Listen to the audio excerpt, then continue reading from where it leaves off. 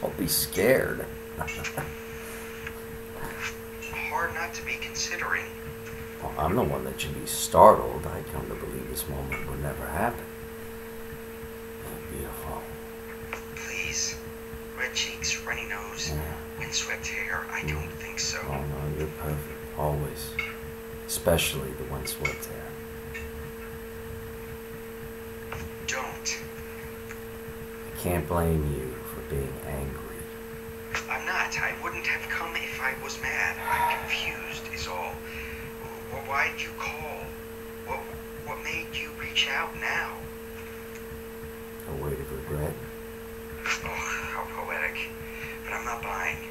You don't regret things, Jeremy. You take what you need, you do what you have to do, and then you move on like you did with me. I know. And I'm sorry. Would you believe me if I told you that I've changed? Not for a second. Okay. Well, that's fair, but um, I'm trying.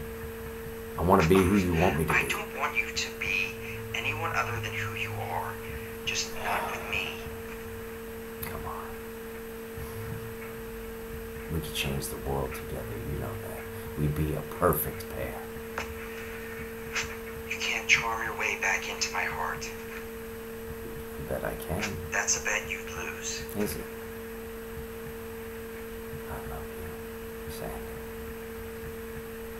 More than you know. More than even I knew until now, this moment.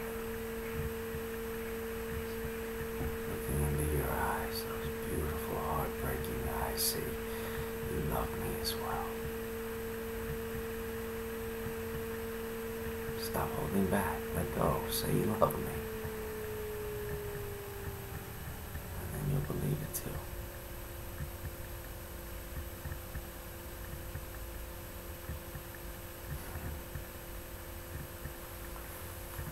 Alright, Corin, reading for Jeremy. Represented by Endorse Management, Maverick Artist Agency.